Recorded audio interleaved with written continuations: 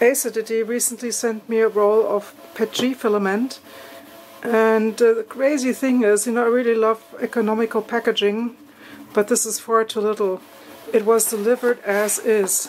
You see the, the postal sticker is here and it wasn't even taped, you see, so anybody could have stolen this. Why don't you do it like other companies do it, you know, they put around at least a, a bag, a black bag, opaque black bag so you don't see what's inside, but you know, this is far too little. Okay, so yeah, enough of that. Let's get to the material itself.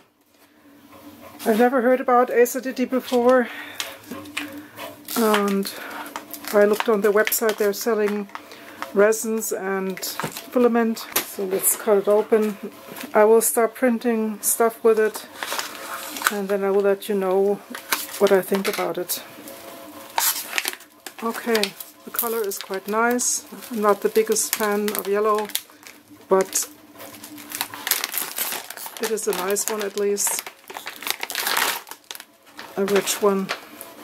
I don't know if the... Yeah, I, I guess it comes out in the video much brighter than it is in reality. So yeah, let's see what it is like. The sticker says one kilogram netter weight, but if I look at the imprint here on the spool, it says 600 grams, and you can see here's my finger, and this little bit for sure is not 400 grams. So once the spool is almost finished, I will rewind it, the rest of the filament to another one, and then I will uh, put this on the scale to see how much really was on the on the spool. Yeah. Okay, let's get started.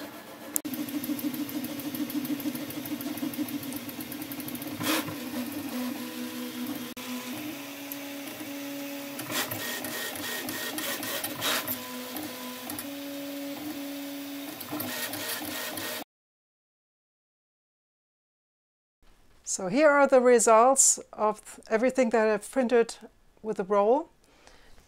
It is empty now I will show you everything, including the scrap. So, yeah, even the internal part of the spool is made out of cardboard. This is what I really like, but I what I don't like is the misleading print on the spool because at first, as I told you when I showed you the roll unboxing it, it seemed to have only like 750 grams on it, but I put everything on the scale. You will see on the pictures surrounding me that I have weighed everything, including the scrap, and it is altogether 985 grams.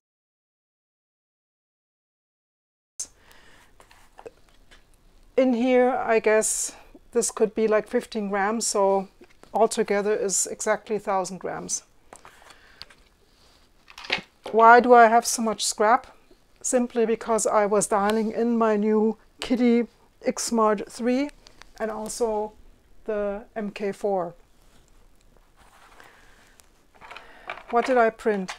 I printed my own tea canister design and to get the, the settings right, that it closes really tightly, you have to make a test print in order to adapt the, the size you know, of, the, of the the top part so it, that it closes nicely. But I don't consider these both parts as waste. I will keep them as trays. I will get rid of this TPU seal and then I will put it uh, to the other uh, remaining failures or you know the su supports or brims that I have here. And the good thing is that I can um, recycle it because at our local makerspace we have a shredder and a filament extruder, so I will simply make new filament out of it. So yeah. I also made my own base design and as I didn't know how it would handle the overhangs, I printed it with tree supports. but uh, yeah, when I looked at it later, I thought, okay, this would have been fine without. The separation is really nice. the material as, as, as, as such is really stiff, so you really have the uh, feeling that you're printing with PLA and not PETG. The stringing is like a spider webs, very little, yeah, and uh, you can just take a, a lighter and flame them away.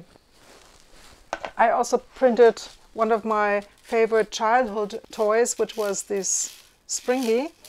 I always wanted to have one and I printed it, I gave it a try some time ago with other filament and there I wasn't able to separate it, but with this one here, once I got it dialed in, it works really, really nicely.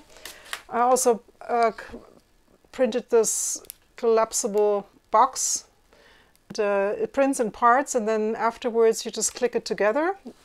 It's stackable, so I guess I will print more of those. Then these back clips. And there I, I lost one full plate that was prior of me dialing it in. Uh, the, so the gap in here wasn't uh, good enough. So yeah, I lost lots of parts there. But the other ones, you know, once I got it dialed in here, those work nicely. I also made a handle. You can buy this um, in the store and then you just uh, put it on here and it closes like that, you know, with a small screw at the end. So that looks really, really nice. I also printed these Akku beer crates because I have so many Akkus. Don't they look cute? And uh, yeah, then this one here, as I told you, this, this I will use as a tray.